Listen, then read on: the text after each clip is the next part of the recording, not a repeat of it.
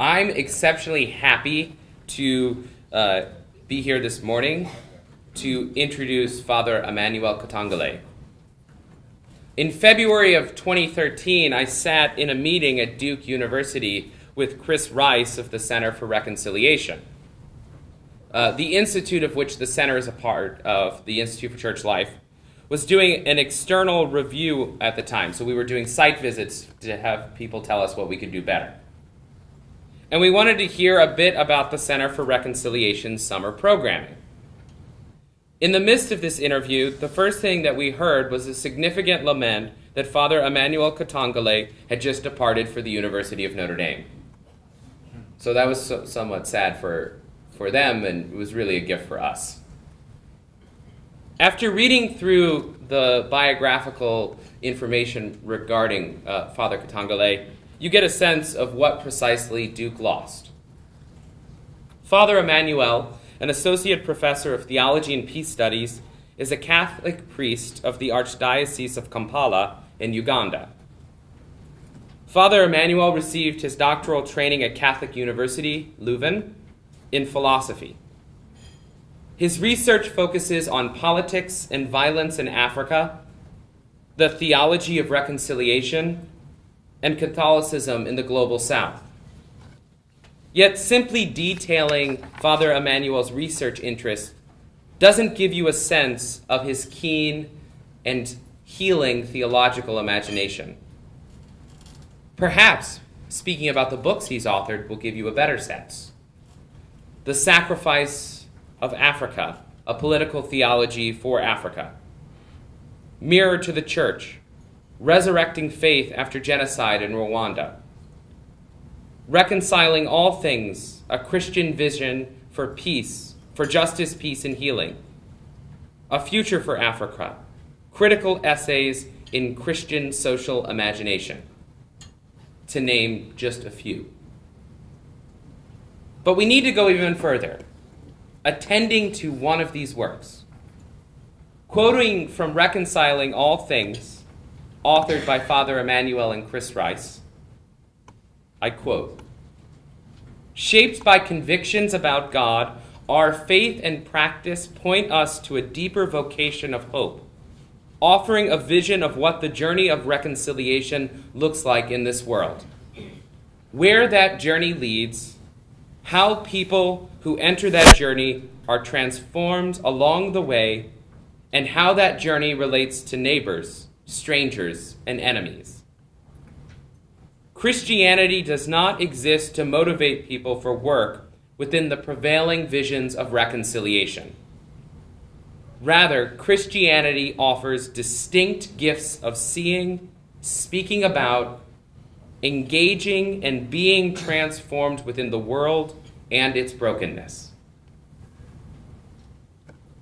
I can think of no better guide to offer us a vision of reconciliation at the end of our symposium than Father Emmanuel in his talk this morning Reconciliation, the gift of, an invitation into another world.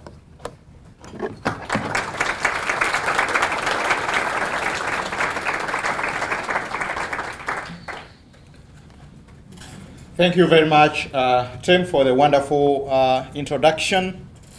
Thank you all for uh, your time this morning, for uh, inviting me, uh, Tim, to speak at this uh, symposium. I'm indeed very, very honored and delighted to be here this morning to share with you something of what I have learned about the journey of reconciliation.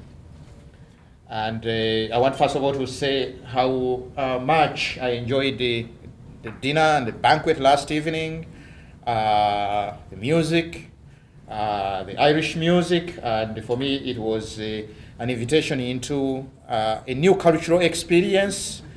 Um, coming from Africa, when I had there was a banquet, I was looking forward to drums and that kind of dancing that we associate with Africa. But this was different. And it was beautiful. And I, I loved it. I think it's somehow connected to what I want to say this morning about uh, reconciliation as a, the gift of an invitation into another world. And the kind of gifts that we get, we experience into that other world, gifts that we didn't even know existed. In brief, that's what I think reconciliation is about. And of course, it does involve healing, it does involve our uh, enemies get reconciled or moving on in a new way, in a new future. It does involve many gifts. Part of the challenge of our time when we talk about reconciliation is that reconciliation is an average, ordinary, everyday word that, that is used in English to, to mean many things. In fact, one of the things that I realized uh, as I started together with my colleague the Center for Reconciliation at Duke University, and as we spoke different places, as we were invited to speak at different uh, audiences, I realized that people, when they invite you to speak about reconciliation, they're thinking about one specific element, or they're thinking about some specific elements and, and goals and objectives for why they are inviting you. Uh, basically, I've realized there are three uh, basic um, expectations. And this is a kind of a little bit of a caricature, but when people think about reconciliation, sure, they kind of stand within these three camps. The first camp is the more a kind of um, evangelical word. In the evangelical word, reconciliation is required, uh, you know, has achieved uh, a new popularity. And when people talk about reconciliation, they talk about reconciliation ministries.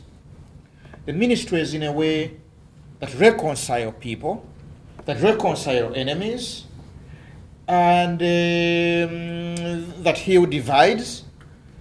And I have received a number of invitations speaking to uh, evangelical context a Protestant context. So when they call you to speak about reconciliation, what they really want to you to speak about is how do you do it? What are the skills? How do you become a reconciler? And I discovered that actually people do have reconciler as one of their business uh, expertise. And so people carry around business cards and reconciler is a title. So what do you do? I'm a reconciler. So if there is brokenness, if there is a, a disagreement and so forth, you can call in those kind of people to reconcile, to medi- mediate. So people who are standing within that word usually are calling or looking for a person with expertise on reconciliation skills. How do you do it? And the kind of question that usually follow is okay, I have this case, uh, my husband did this and this, so how do we get reconciled? Give us some skills of how do you reconcile. That's one category. People looking for specific skills on how to reconcile. Here at Notre Dame, I teach in the Institute for Peace Studies. So, in the area of peace studies, the Kroc Institute, in the area of politics, reconciliation is also becoming more and more popular, especially following the Truth and Reconciliation Commission in South Africa. Reconciliation is being discovered within politics, that actually, reconciliation can help communities move on a new future, especially communities that have been experiencing war, enmity for a long time, communities that have been going through endless cycles of, of, of, of violence, how do they come into a new future? Well, there is something like reconciliation, the whole process. And what uh, Desmond Tutu and others stand for in South Africa is that kind of process brought into the political field. So there is a lot of literature out there on the politics of reconciliation. Uh, one of my colleagues at the Peace uh, Institute at the Kroc, Dan Philpott, has written a beautiful book called Just and Unjust Peace. And within it, Reconciliation is a process, a political process that is engaged by diplomats, by heads of state, as a way to heal the past of nations, nations whether nations like um, South Africa, or Rwanda, or Bosnia, where there have been atrocities, to move into a new future, a politics of reconciliation. So when I get in invitations to uh, places like the Kroc Institute and others who are doing peace studies, what they are really looking for is uh, areas and how is the process of political reconciliation engaged? How do communities that have been experiencing animosity, enmity, uh, move into a new future of life together, similar to what happened in South Africa? Then there is a third group, and again a bit of caricature. Uh, this is mostly from a Catholic point of view. We Catholics, when we think about reconciliation, we immediately think about okay, our relationship with God. How do we get reconciled in our brokenness, in our sinfulness? How does God reconcile us? And usually within that, we immediately uh, think about the sacrament of penance, which is the sacrament of reconciliation. And so people are usually interested in so what are the ways in which we move into that dynamic in which our relationship with God is restored, is renewed, is made whole, and how we participate in the sacrament of reconciliation? I don't know whether this is uh, what is also at the heart of the uh, this symposium and the invitation, as the, the invitation letter uh, clearly uh, spelled out to uh, in uh, the expectations of my, my talk. We would like you, Father Emmanuel, to give us a talk on reconciliation, one that might renew the imagination of our guests regarding what it means to participate fully, consciously, and actively in the rite of penance, in the sacrament of reconciliation.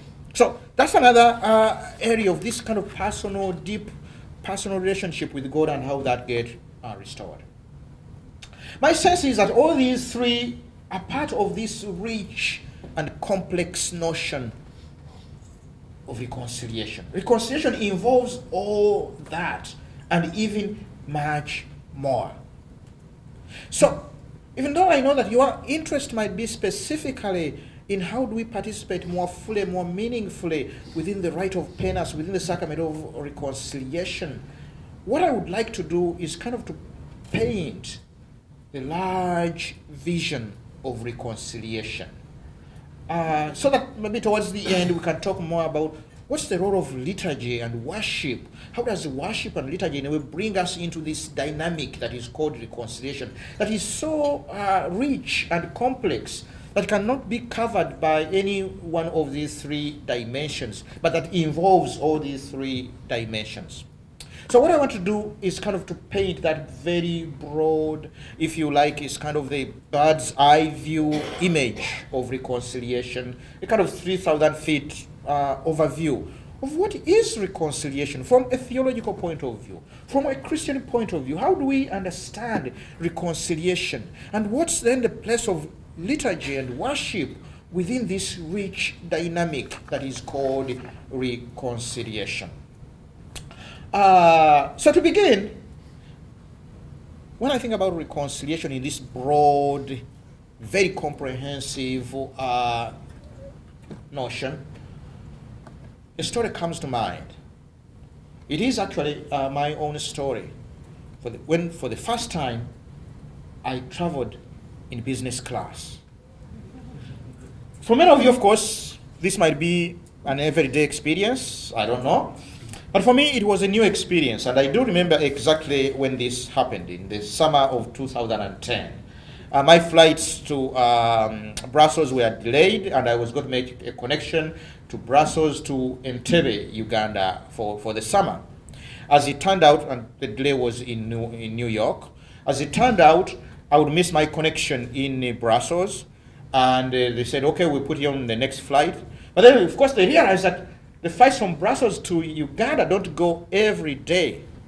I would have to spend uh, three days in Brussels to make my next connection. So, but the travel, uh, the the person at the front desk uh, was very, very kind. She said, "Okay, let me see what we can do." So she looked around at different possibilities and found finally found uh, a new route for me that would put me on a different airline that would take me through London and then finally into Entebbe. So I would be late for like only seven hours, and so she had to reroute me through uh, Heathrow Airport. But for this, she was kind enough to say, "We will." Uh, bump you up to business class for the inconvenience caused. So immediately she gave me uh, a card to go to the lounge in, in, in, at JFK. So I went into this lounge. I said, "Oh my goodness! I, I, I honestly, I didn't know that these kind of spaces existed in, airports. For me, my word of airports is the, busy terminals and and all these kind of tired-looking passengers, kind of wearing their um, overly laden carry-on bags and, and very cheap, uh, not cheap, expensive food, very expensive food, and to a large extent also tasteless. So I, am yeah. so I'm, I'm here in this lounge. I say, wow, and they are all nice amenities, uh, fresh wine, and uh, nice, uh, comfortable chairs, uh, and surprisingly, you don't even hear the, these endless announcements. and of course, they came uh, to call us by name. Mr. Katongole, your flight is ready. Please follow me. I said, wow, man, this, this is quite, quite, quite interesting. So we go in, of course, we are the first one to board, and all the people are looking at us and they say, oh my God, where are these people going? And so we sit down, and fresh towels and so forth, and glasses of champagne. By the time uh, the rest of God's people walk in, we are onto our second glass of champagne looking pretty re- relaxed and compared with everybody else. But you know, the best part was in London. The, the, the, the, the, the lounge in London was, was something, was really something else. It's replete with showers, massage chairs, and the gourmet food. And uh, honestly, as I told you, I never knew that these kind of spaces existed within the world of airports. It was a complete new experience for me. And as I left in a way, kind of after um, an 18 uh, hour journey to Entebbe, I realized how, for the first time, I was not tired from flying. I, I was fresh actually. And I kept wondering, I said, why don't I do this every day? no, really, I said, this is where I belong.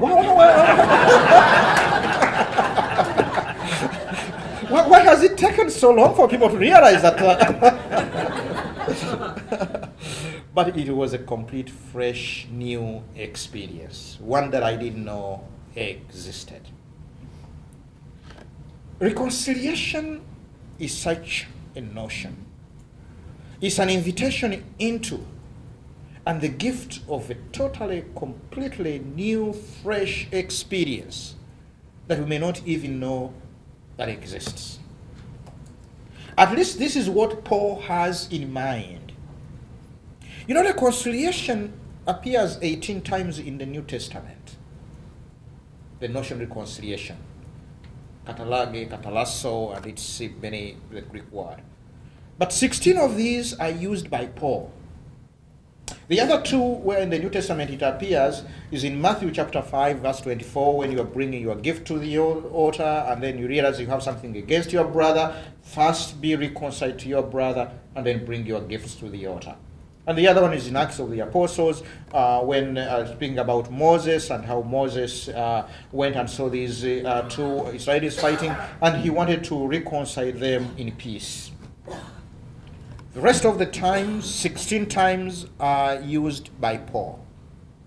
So this is a typical Pauline concept. And for Paul, this is a rich term that expresses the whole dynamic of what the gospel is about. Paul is using this notion of reconciliation in a way as a kind of a short term for the gospel, for the good news. So, what does Paul do with, with the notion? Let, us let's look at one passage in which, as I said, 16 times Paul uses the notion of reconciliation through his letters. But this one time, in the second letter of the Corinthians, in a very brief passage, he does actually use the word reconciliation five times. That kind of really bring it down to almost the heart of the gospel as Paul understood it.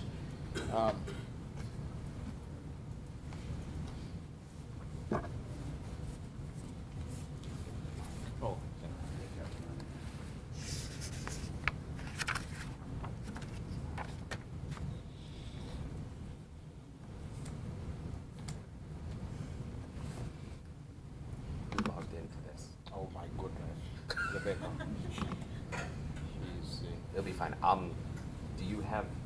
I'll take care of this. Uh, I can log in my own.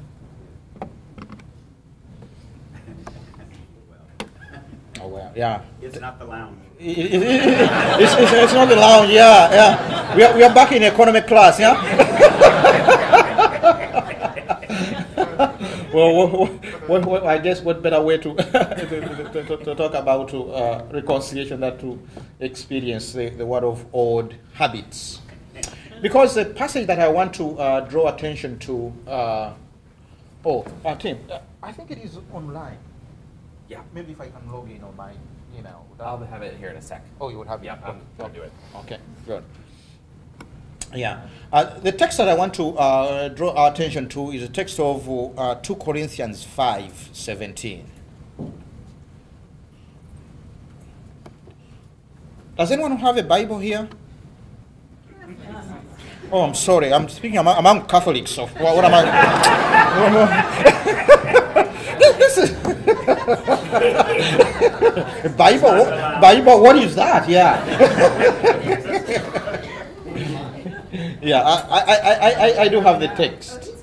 I do have the text, but I wanted maybe somebody to uh, to help us re- read what they have. Uh, yes. So it's it's, uh, it's five. It's seventeen. Uh, two, five, 17. But you can begin with 16, actually. Okay. From now on, therefore, we, go, we regard no one from a human point of view. Even though we once knew Christ from a human point of view, we know we know him no longer in that way. So if anyone is in Christ, there is a new creation. Everything old has passed away. See, everything has become new. Keep going. Up to 20. All this is from God, who reconciled us to himself through Christ and has given us the ministry of reconciliation. That is, in Christ, God was reconciling the world to himself, not counting their trespasses against them, and entrusting the message of reconciliation to us. So we are ambassadors for Christ, since God is making his appeal through us. We entreat you on behalf of Christ, be reconciled to God. Thank you. Uh, what, what's your name? Conrad. Where are you from, Conrad? Nova Scotia, Canada. Nova Scotia, Canada. You know, it takes uh, Canadian Catholics to have uh, the Bible, the Bible ready. I'm, I'm, I'm, just kidding. Uh, this, this, this, this is the major difference. As, as I said, uh, one and a half years ago, that's when I moved from Duke University to, to Notre Dame. But Duke University is basically a Methodist uh, university, and it's in uh, North Carolina. And right, the invitations that I get from Protestant evangelical churches, everybody would of course have their Bible. And so when you say 2 Corinthians 5:17, they would not only immediately open the Bible, but many of those would already be very familiar with that text. Now, how many of you, whether in your parishes or congregation, have used this text in one context or another? Okay. Again, this is a major difference because many uh, Protestant and evangelical churches, when you speak about 2 Corinthians 5.17, they would immediately know what we are talking about, the text that we are talking about, and about reconciliation. And they would also, the other uh, aspect, that they would immediately jump to the conclusion of it. Therefore, the mission has been given to us, therefore, we are ambassadors of reconciliation. The word ambassador will stand out and therefore we have a mission of reconciliation in the world. Therefore, the question is okay, how do we do it? What are the skills in which we become ambassadors and so forth? But this is kind of to really jump ahead of the text. if you get, want to get a sense of what Paul is doing, it is that whole comprehensive notion of reconciliation. You've got to read the whole passage. And that whole passage, a number of things stand out. The first uh, thing that stands out is this notion of new creation. If you can read for us that first line 17, verse 17 again. So if anyone is in Christ, there is a new creation. Everything old has passed away. See, everything has become new. Good. New creation. Anyone in Christ. So I'm going to identify six elements within this passage that seem to be so crucial to what Paul is doing with that uh, passage. And I think our technical person is also I'm almost there. uh, almost you there. said it's online. It's online, yeah. It's- It's not coming up so- on the computer, but I can find it online. Well, if I can go on my email, I can pull it out. Great.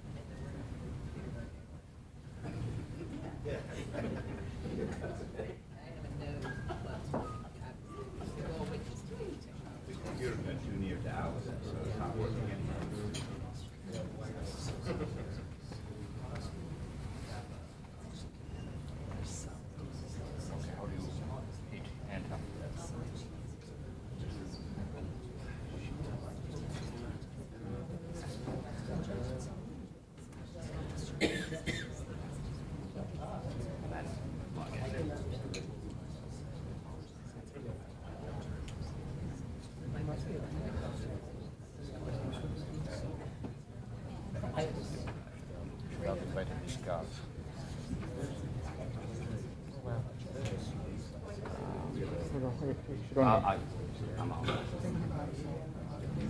So the first element I want to speak about is a new creation.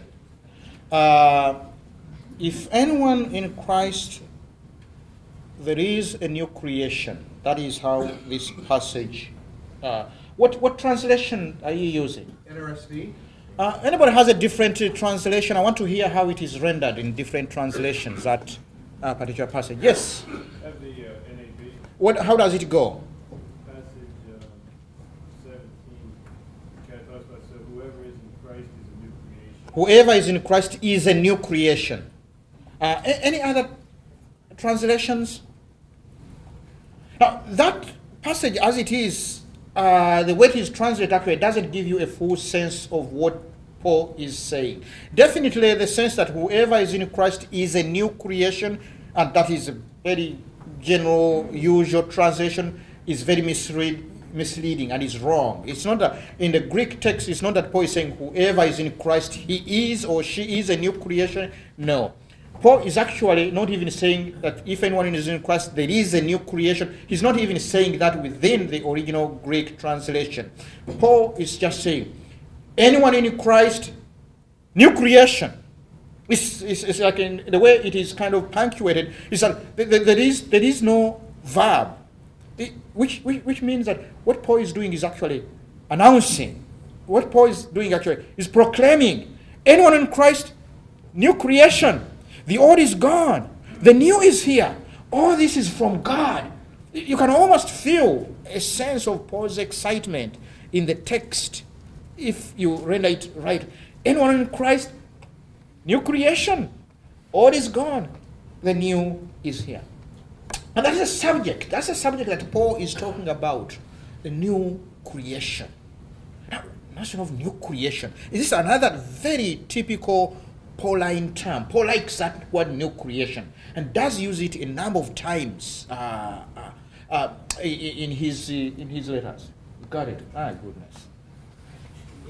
Hey!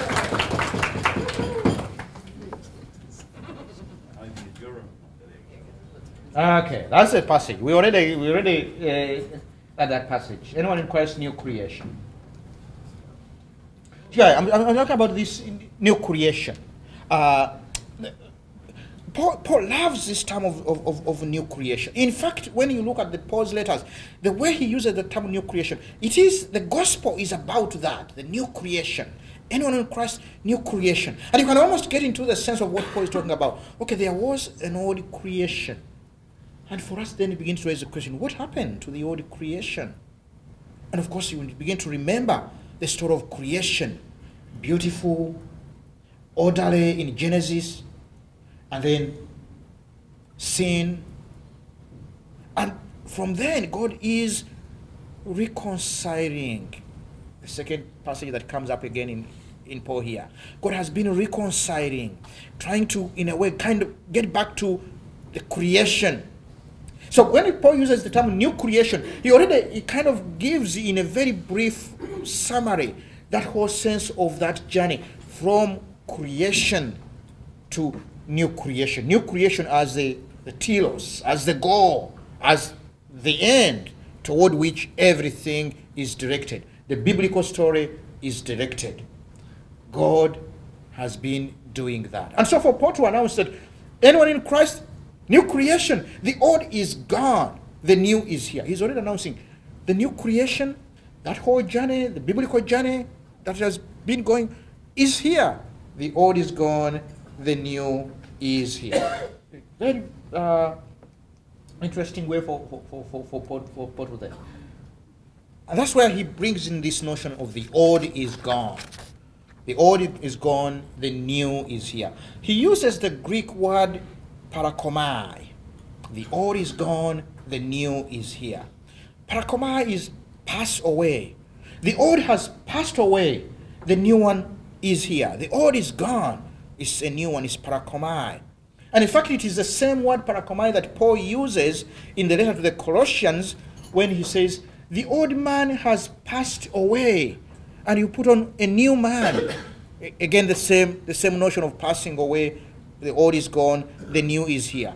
It's the same word that he uses again in the letter to the Colossians when he talks about that Christ has taken us from the dominion of darkness and passed us on to the communion, uh, the dominion of, uh, of Christ, uh, the kingdom of light, the kingdom of God's beloved Son. What is significant for Paul that this passing away, the parerchomai, Paul announces as something real. It has happened. It's not just simply metaphoric that, oh, there's new creation, kind of. You know, you have to use that as a, an, an image and a, a metaphor. No, Paul says it's real. The old is gone, the new is here. Thirdly, all this is from God. The gift. It's not our making, it's not our deserving, it's not even predicted on certain kind of conditions that if we do this and this and this, then God is going to bring into existence the new creation. No, the new creation is here. The old is gone, and all this is from. Now, all these three, you, you hear Paul is kind of stating as a matter of fact. It's real. He's actually not just stating, he's, he's singing, he's proclaiming, he is filled with exultation for, for this. Now, it is within this context that then Paul uses the word reconciliation. Five times in this uh, this passage. Reconcile, reconciliation. Five times. and the, the, the, Greek word that Paul uses, katallasso, or the related terms reconciliation, katallage, is surprising. It's, it's not a religious term at all. The term Paul uses is from a political legal setting that was very common in political and legal setting, which means an exchange of one thing for another. If, for example, within the domestic uh, context, husband and wife are having trouble and so forth, and they didn't agree, and they come to the court, Uh, and the court then uh, intervenes, and then they kind of write and say, okay, let's forget about the past, let's now move on and so forth. And a, kind of exchange happens. Exchange happens that signifies that we have moved on from the past, now we're going to move into a new dispensation. So the word that he uses, reconciliation, reconciling, uh, reconcile, the katalago, is a kind of an exchange, a legal, formal exchange in which one thing is exchanged for another. The old for the new. Enmity for friendship broken relationships for restored relationships. Kind of if you think about the story of creation and the disruption that happened in sin, chapter 3 of Genesis, what Paul is announcing here that now that has been restored. Uh, the equilibrium, in a way, has been uh, restored. And God is done all that. The other very important word is the word. God has been reconciling the world. It's not just a kind of a personal relationship that is, is restored, but it's the whole world.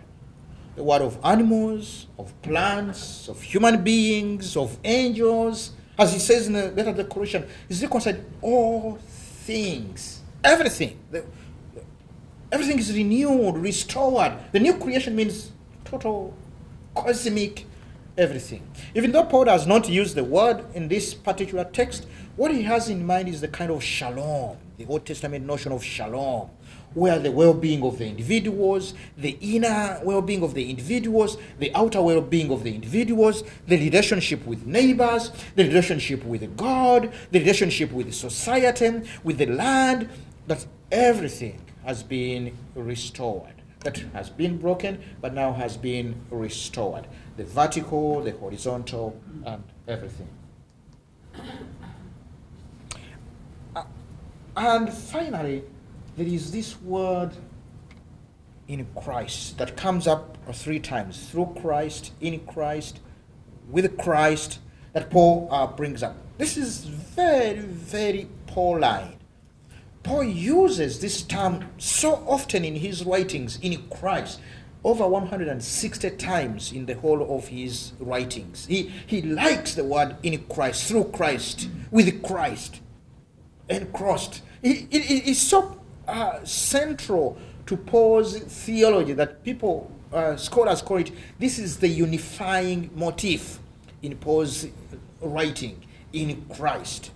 Uh, but what does it mean that Paul would, again within this small passage, short passage, bring this up three times in Christ?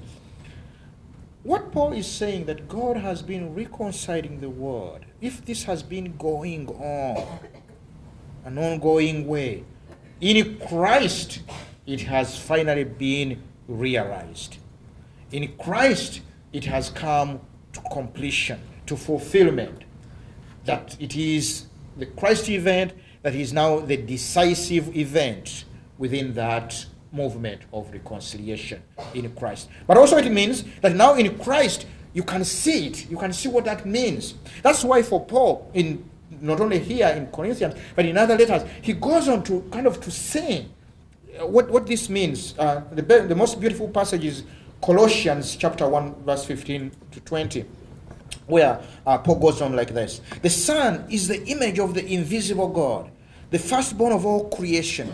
For in him all things were created, things in heaven and things on earth, visible and invisible, whether thrones or powers or dominions or authorities. All things have been created through him, through him again, and in him, and for him. He is before all things, and in him all things hold together. And he is the head of the body, the church He's the beginning and the firstborn from among the dead, so that in everything he might have the supremacy, for God was pleased to have all his fullness dwell in him, and through him to reconcile to himself all things, whether things on earth or things in heaven, by making peace through his blood shed on the cross. Now, now you hear that reverberation of in him, through him, with him, and you hear that how Paul ties it together with He has reconciled all things, everything, making new what has, has been broken. Short passage. Reconciliation comes up five times, but kind of providing the whole summary of what Paul proclamation of the gospel is. And in fact, the way he states it here is not even a, de- a description, it is a proclamation, it is uh, an announcement. Anyone in Christ, new creation. And this is what has been going on. God has been reconciling the world. So reconciliation is the kind of that process through which God has been doing this in the world. Okay. A lot can be said, but uh, let's stop there. So, if this is what has been going on, then the question is how then should we live? If this is, if we live in the dispensation of new creation, what does that mean for our lives concretely uh, here uh, on earth?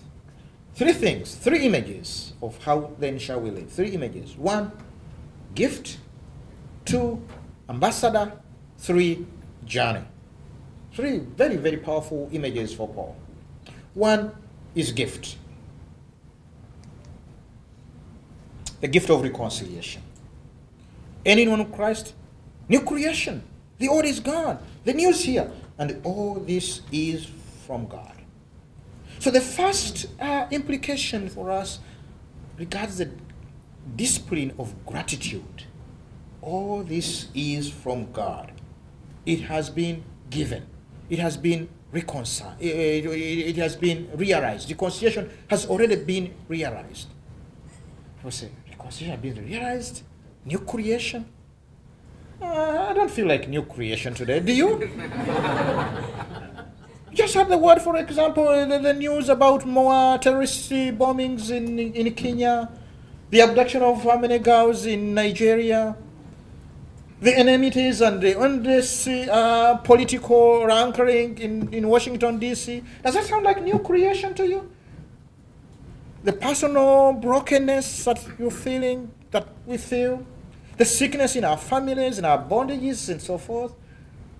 Oh, not to say anything about uh, the tensions or disagreements and the bickering in the parishes. Does that sound like new creation? So how does that, so the discipline of gratitude, when actually we are living in a world of brokenness, of sin, a personal brokenness and sin, social brokenness, it doesn't feel like that. So how can we even maintain that discipline of gratitude in the face of all that? For Paul, the question is about actually seeing. It's about how do we see the world. You can see the world as completely broken, and they completely the word as kind of all left to itself. What Paul is inviting people into is that we have to put on a new lens. That is why in this passage, here we picked it up from verse 17. But in the verse before that, verse 16, Paul says, From now on, we regard no one from a worldly point of view, though we once did. We regard no one from a human point of view. We look at no one from a human point. Let us not look at the world from a human point of view from now on. Now that's why he immediately says, anyone in Christ, new creation. We look at the world not from a human point of view. You got to put on new lenses. So the discipline of gratitude has to do with also the gift of a new lens. How do we see the world? It means, given this passage, given this announcement, it means that with all the personal sicknesses, brokenness, sins, injustices, racism, violence, terrorism in the world, with all that going on, the world is still God's theater of operation. And what is God doing in the world? God has been reconciling the world to Himself. In fact, the news here God has already reconciled the world to Himself. The world is already healed. The world is already restored in spite of all that is going on. That, that is the first gift, the gift of discipline, that in all our everyday life activities, in spite of all that is going on, to get lenses to see that actually God's ongoing work of healing, of restoration, of renewing is going on and is being realized in spite of all that. It does take, in a way, a discipline. That's why I call it the discipline of, of gratitude. It does take a discipline because on a given day, day to day, we don't feel like we live in a world of, of new creation. Oops. Did it again. Oh, well, the second, the, the, the, the, second image, how then shall we live? Then Paul, uh, towards the end of the passage, says, Oh, okay, good, thanks.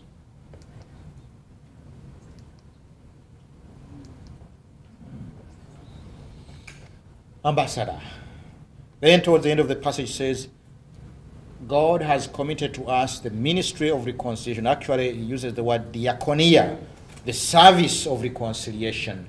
We are therefore Christ's ambassadors in the world. This passage, the, one, the second implication means that we live as ambassadors.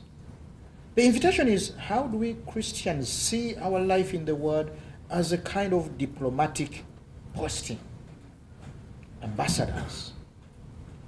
The word that Paul uses, presibios, presibio, ambassadors, which were in Paul's time statesmen that were appointed by the king as delegates, legates in different towns to represent uh, the king.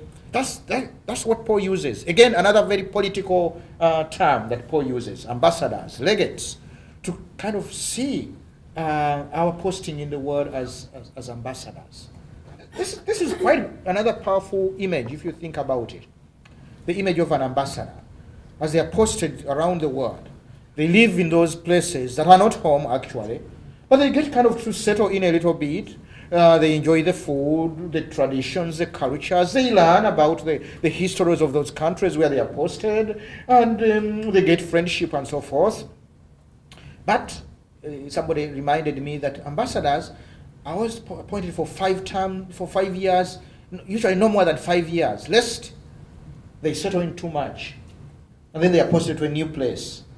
Why? Because it's a kind of reminder where you might enjoy where you what you are doing, the, the friendship that you are making in this country and so forth, but do not forget where you come from.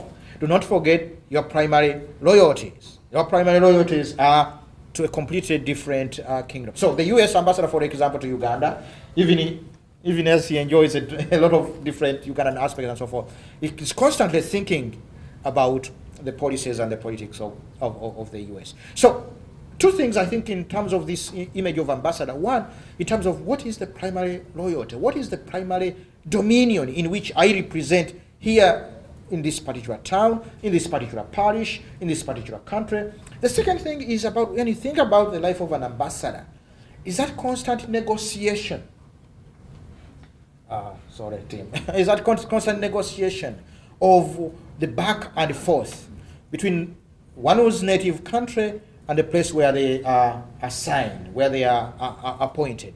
A kind of moving back and forth, negotiating uh, the day to day politics in a way. Uh, that's the term that I want to, to lift up here. The life of an ambassador is so much about negotiation negotiating everyday challenges, everyday activities. But everyday activities and challenges in connection with uh, the primary identity of, of, of, of the ambassador's um, uh, home country. So, as kind of living as, as resident aliens.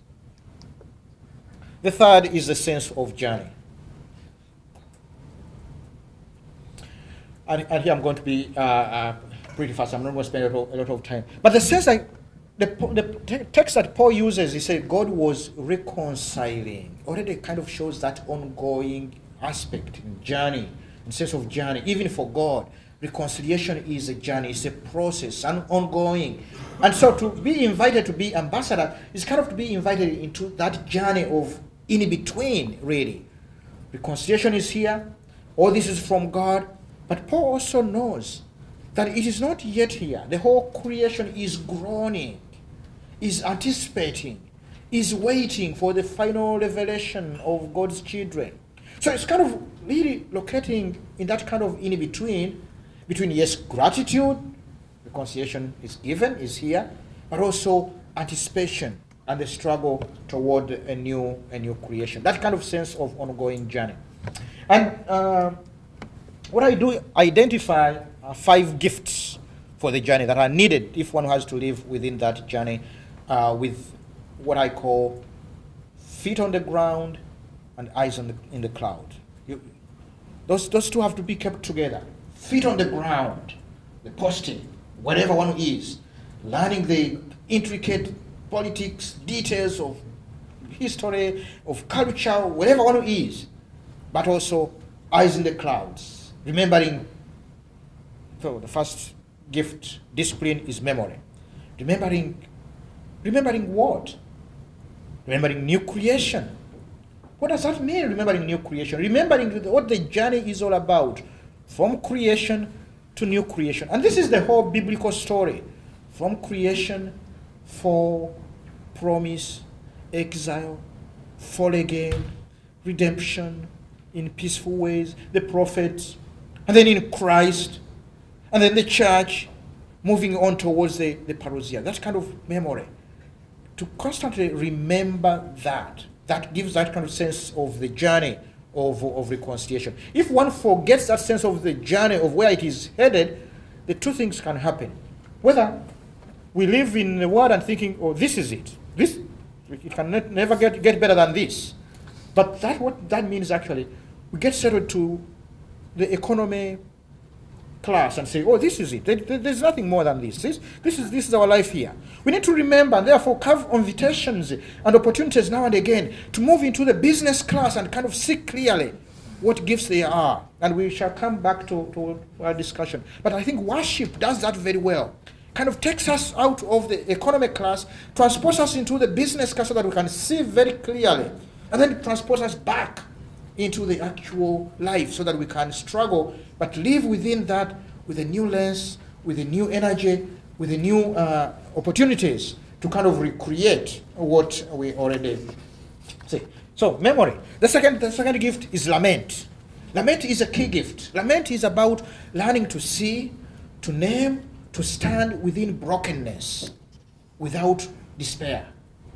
Because when we're sick or when we're broken, when we are foreign, when we live within the world of terrorism and so forth, we can very easily despair and say, This is all there is. Lament gives us the ability to learn to stand within that brokenness and yet at the same time see that no, this is not all there is, but God is creating, recreating, renewing, restoring, reconciling. That lament is about the whole creation is groaning to stand within that groaning. And standing within that groaning is actually standing within the same groaning of God. It is God Himself who is groaning. So that kind of uh, anguish, the anguish of God. The third is hope. Hope is what helps keep lament from actually turning into despair. Hope and lament go hand in hand. Hope is what helps us to see that even in the midst of all the brokenness, God is always planting seeds, small signs of hope, as He says in Isaiah.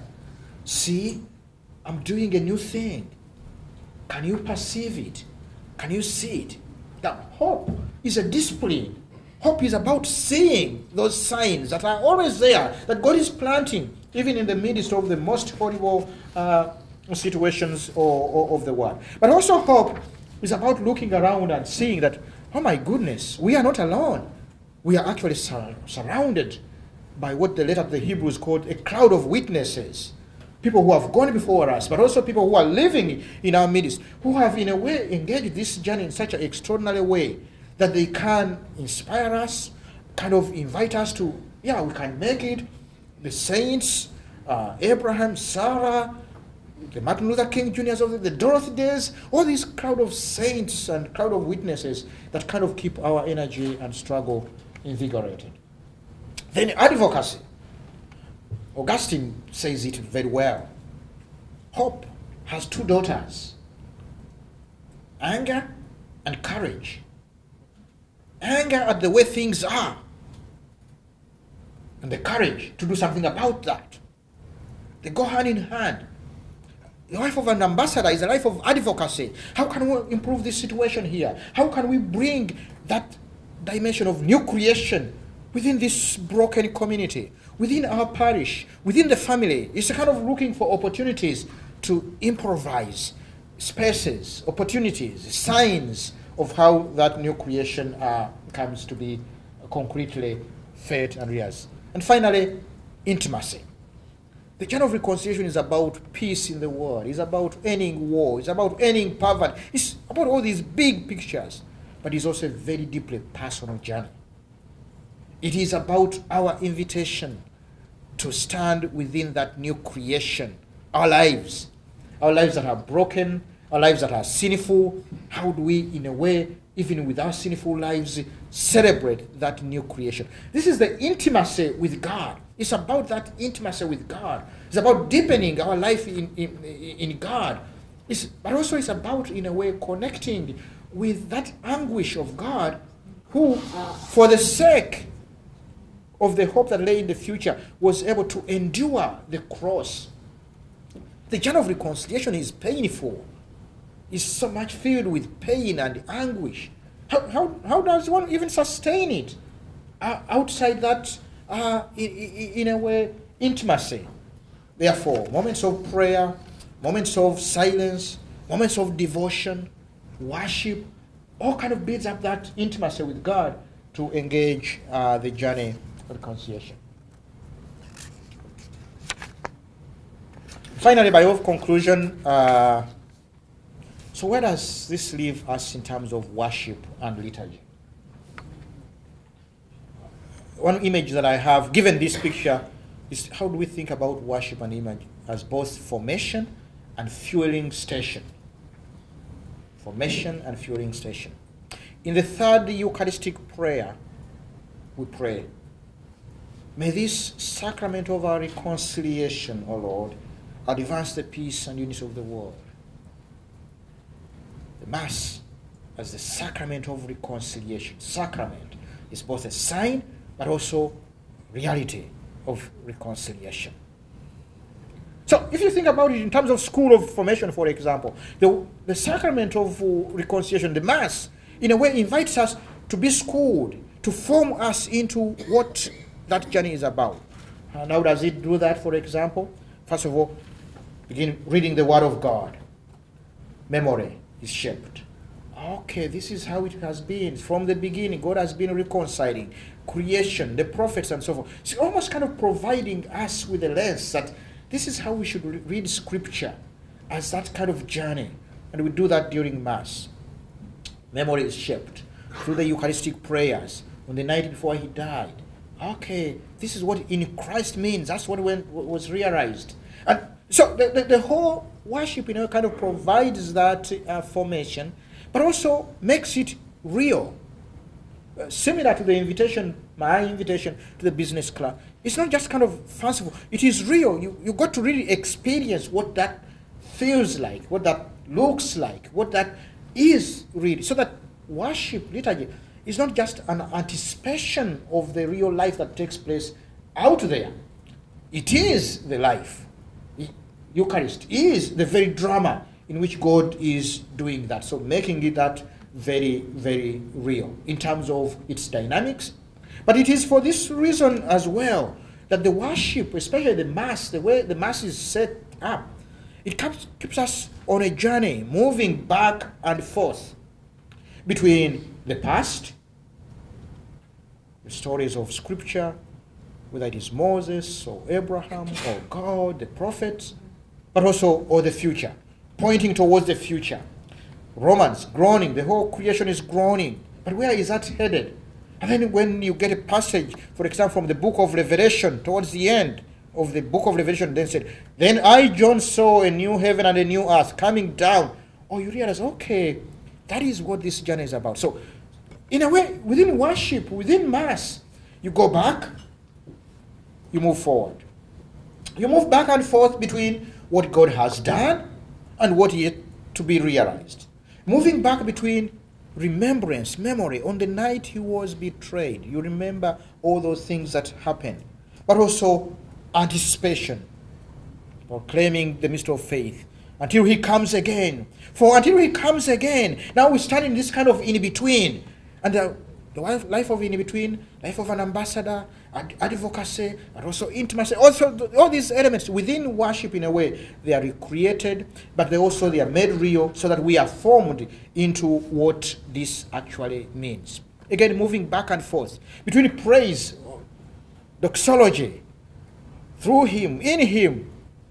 Do you hear Paul? The word has been restored, doxology, praise, but also lament. I stand as broken sinners. I confess my sin. So, so kind of moving back, this provides a school of formation. It kind of forms us into what this new creation is and how to engage that journey. Uh, second, in terms of uh, uh, worship, and we can have more conversation about what I like also about worship, especially the mass, is in the way that it is able to hold it together these two dimensions of lament and hope. Lament and hope go hand in hand. To live as hopeful people, we also need to learn to live through the discipline of lament. And the mass concreted discipline of lament is already at the beginning. Let us take a moment of silence to remember our lives, where we have been, our brokenness and sinfulness, and confess our sins. A truth of naming what is wrong. Not only with us, let us not just confess my sins, our sins. Let us confess also the sins of the world, the terrorism, the injustice, the poverty, the hunger that is out there, the brokenness of creation is out there. All that we need to name within that sacrament of, of penance, within that confiteor, within that announcement, within that um, uh, reconciliation. But immediately we do that, we sit down to listen to the word of God, and then we are invited to the table. And then we remember the night before he suffered, Jesus sitting down with the people who were to betray him, and that is us. we are invited to sit at the table, even though we are sinners, so that the participation in the Eucharist is already given. It does not just say, okay, if you are clean, if you are uh, without sin, only you come. No, no, it's already given. They remember that on the night he was betrayed, he sat down with the people that were to betray him. He invites the sinners to eat with him, and, and that's us. And so that is what actually allows us to stand in that uh, in between of lament and hope, of the past and the future, of what has already been realized, new creation is here, of what is yet to come, anticipating uh, the final uh, parousia. And finally, the element of fueling station. The mass worship as a kind of fueling station, getting energy, getting fed for the journey, kind of drawing new uh, energy, but also kind of deepening, deepening that journey from a personal point of view. That's why I want to end with the story of. Uh, of this uh, Archbishop from northern Uganda. I think he helps to kind of bring together all these different elements that we've been talking about new creation, the journey, ambassadors, the gift, the different uh, aspects of worship. Archbishop John Baptist Odama uh, became uh, Archbishop of Gulu at a very, very difficult time in northern Uganda when, and I think many of you have heard of the story of the Lord's Resistance Army Kony 2012, the Invisible Children, uh, that, that known. But at, at the heart of the, that story was Archbishop Odama. A lot of abduction of children, uh, the war going on devastated the families and the homes. Archbishop Odama becomes Archbishop and he's done quite a lot. He did quite a lot. Uh, traveling to the bushes to meet Joseph Kony and tell him to stop the fighting, then coming to the government, telling uh, the President Museveni to reconcile with the, uh, with, with, the, with the, the rebels, to sit down with the rebels to negotiate, and of course being suspected by, by, by both sides, but kind of be moving back and forth and doing that ministry of advocacy.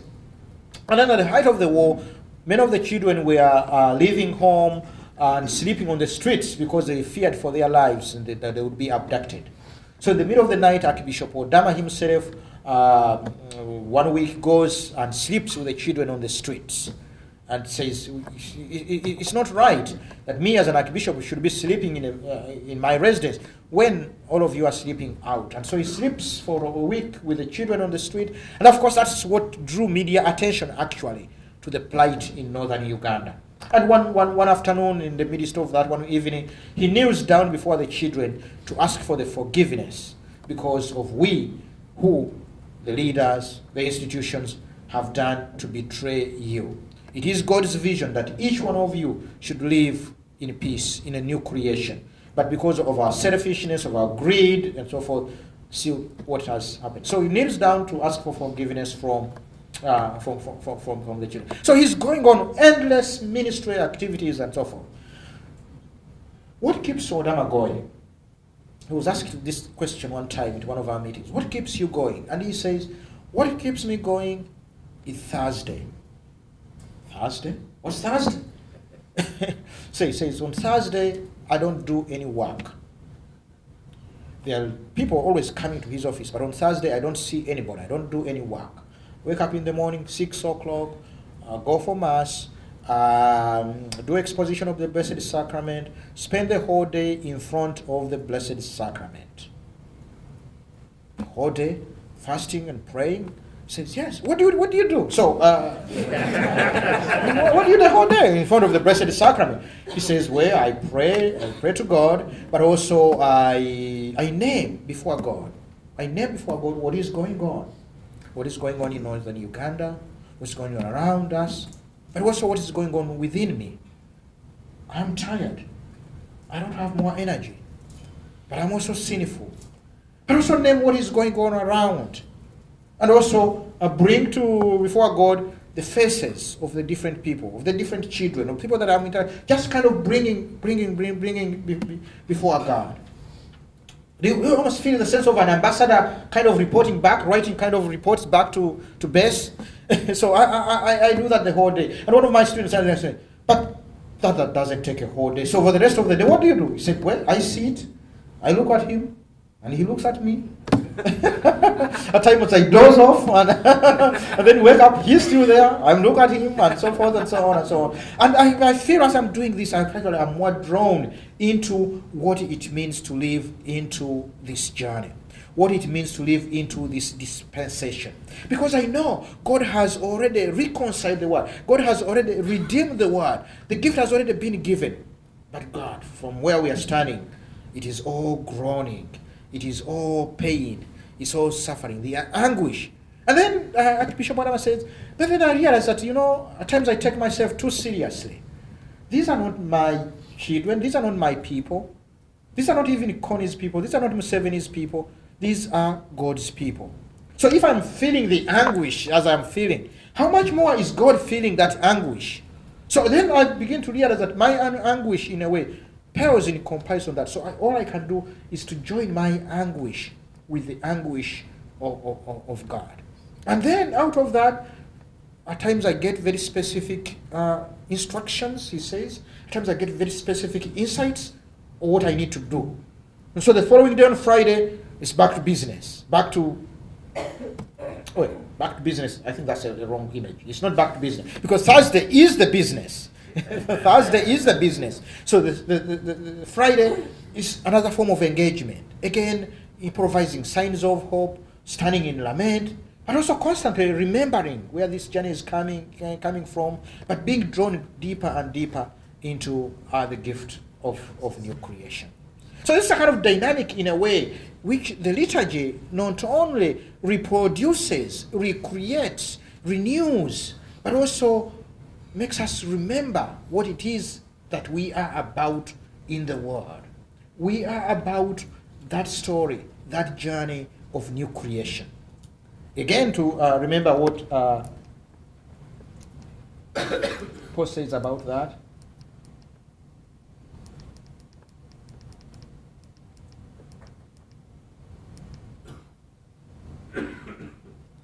Anyone Christ, new creation. The old is gone, the new is here, and all this is a gift. And God has been doing, reconciling the world to Himself and inviting us to be ambassadors, giving us the ministry, the service, diaconia of reconciliation as God's ambassadors in the world. Such an exciting journey, but such a tremendous gift that we are all given. Well, thank you very much. And, uh,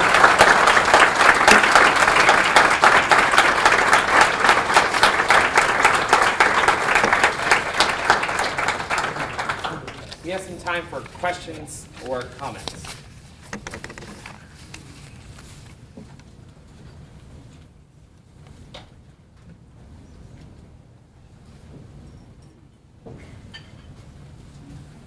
Yes.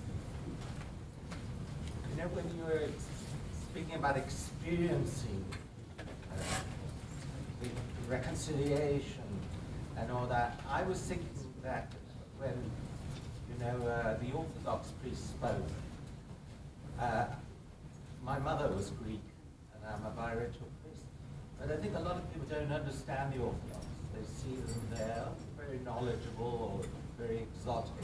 Mm. They don't understand and experience what they do, and therefore it's very difficult to be reconciled with the Orthodox, to experience what they, and vice versa, of course.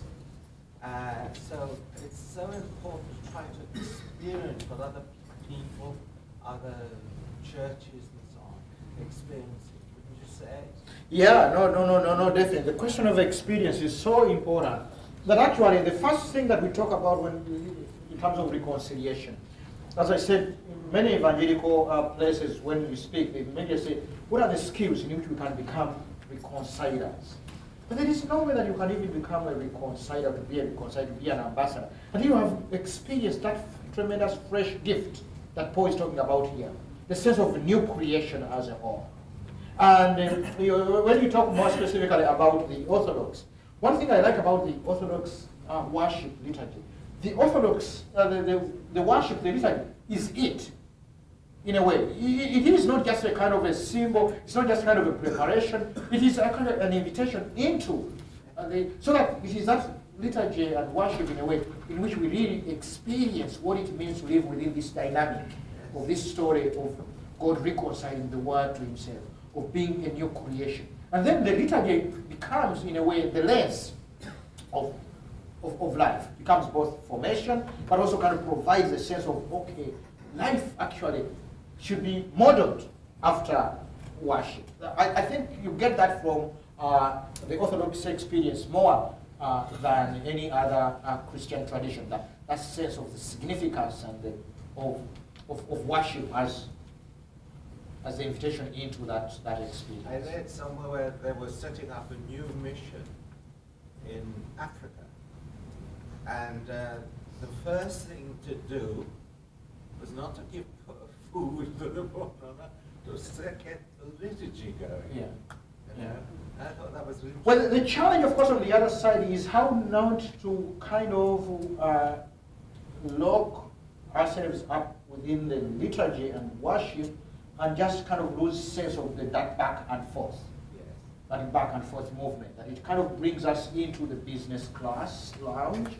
Then we can see clearly what it is actually, but at the same time kind of moves us back from the mountain to the valley, from the past into the future, into the now. It's kind of that, that I, I, I guess you get a sense of the constant movement within the liturgy. The- That journey within the liturgy, the movement within the liturgy, is the movement of new creation itself, as it moves back between the past, the future, the gratitude, the lament, the doxology, the praise, and then, of course, the, the groaning. It, it is the map for life.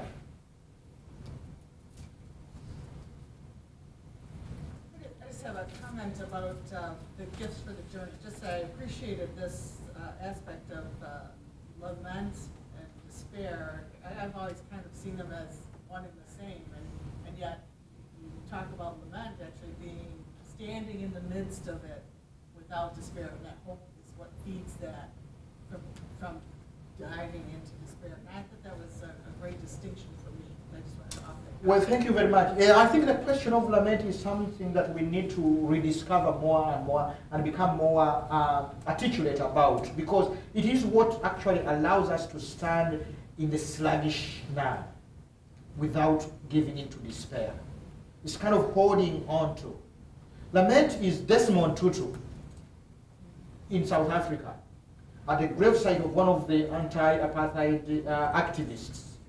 Lament uh, Tutu speaking, Lord, we know that your victory is assured, but why must the cost be so high?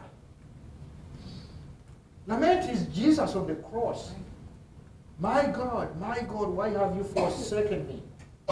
It looks like a, a prayer of desperation, of, but it's still, my God. It's a kind of a hanging onto, my God, my God, why have you forsaken me? Lament is a woman in, that I, I know in Burundi whose village was killed, 72 people killed in front of her.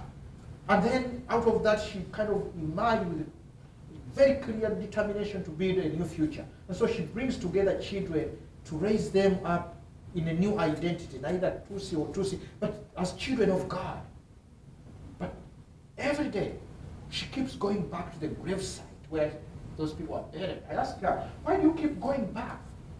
And she said, it's not to relieve the pain, but to see clearly the future. Standing in lament is what allows us actually to come to a sense of enough is enough. it's a sense of uh, energy that arises out of that. But only to the extent that we are able to connect our anguish with the anguish of God Himself. Lament is that movement in which God says, My people, my people, how long? Jerusalem, Jerusalem, how, how long have I longed to gather you? But, but He never gives up, in a way. So lament is all, all that does that. And the more you think about it, the more you realize that lament is just like kind of the flip side of hope. Lament and hope go hand in hand. To the extent that we don't know how to name brokenness and sinfulness and stand within that, we kind of easily cover up. And therefore, we stand the indictment of Jeremiah. Woe to you who say, Peace, peace to my people, when there's no peace. So we, we kind of heal lightly the wounds of the world. Lament is what allows us to recognize that we are sinners, to name our truth, uh, in truth, our sinfulness, that we are broken, and yet not to despair. Why? Because we know that we are also already forgiven. Because we know that on the night he died, he sat with sinners. And that's us. That we are invited as, for, as sinners to the Lord's table. That, of course, now for many of our uh, requirements, or it's only those who have fully confessed their sins and so forth and so on who are invited there. But the bigger picture is actually much more complex and interesting. Judas never confessed his sins when he sat at the table with the Lord, and the Lord passed on the bread to Judas. That is us. That even after sitting at the Lord's table, we're going to betray him. To, to name that and say that is the truth of our lives in a way. But, but we live in hope because we know this new creation is already going on, that God is actually healing even when we don't feel it. That it's lament in a way that kind of, if you like, provides the glue within all these different disciplines. As we remember, of course, what has gone on, but also as we participate and live in hope. But God is also providing the energy for more advocacy of, of the new creation. Yes, sir. I lived for five years in Papua New Guinea, uh, doing some work in a seminary there, and it brought home to me seeing the way people solved their differences. It opened up for me all our Lord's teachings in the Gospels about forgiveness because of the habit of, the payback. And um, the most striking example was the Archbishop of Port Moresby criticised the government for its corruption message. And two years later, a member of the same religious community, a Franciscan priest, uh, had his head blown off by a shotgun in bed at night on the Feast of the Assumption. Um, so the point being that this brought home to me the strength of our Lord's teaching and obviously what you've been meditating on with us. Um, the that's the normal way. That is the old creation. And without Christ without grace, uh, we cover it up with insurances and compensation payments and incarceration. Uh, but we forget how radically we ourselves need this gift of reconciliation. And it struck me very simply the first uh, thing the Pope said in the new Pope Francis stop gossiping about each other in Rome. Uh, how much evil comes from this simple habit of all of us? And it's, a, it's another issue of reconciliation.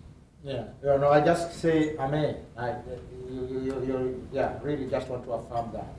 But also, uh, it, what arises out of that is the realization that old habits die hard.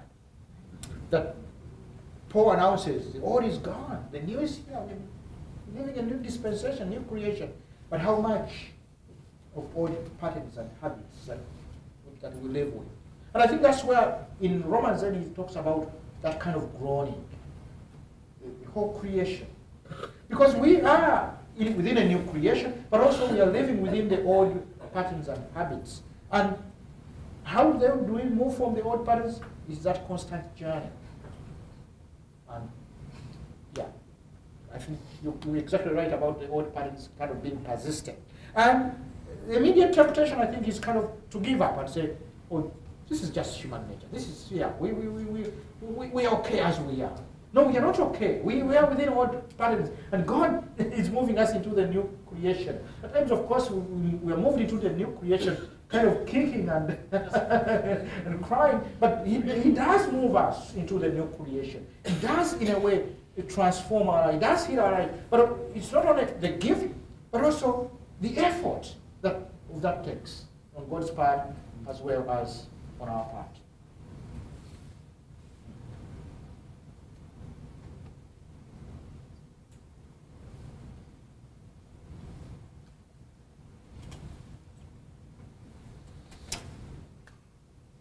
All right. I think we're done. Thank you very much. And, uh,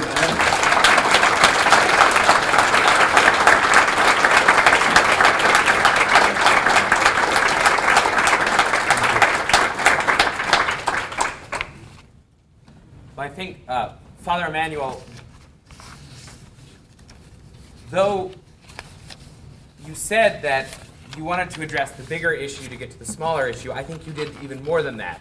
Um, precisely because I think, in a real way, if what would happen if precisely this larger vision was given to people in our parishes, um, in, in our communities, about that we live in the new creation, wouldn't we come to see the wounds all the more real? Precisely because we saw the heights to which we're called. Uh, and that's such a gift. I think it's it. I couldn't imagine. I couldn't imagine, you know, sort of first penance, first reconciliation programs beginning with this gift first and foremost, rather than simply, you know, here's how to kneel in the, the confessional. What if we began with the gift? Um, what if we proclaim the gift? Well, then you would understand that you are sinful because you can see the, how much gift the gift is. So thank you. Thank you very much.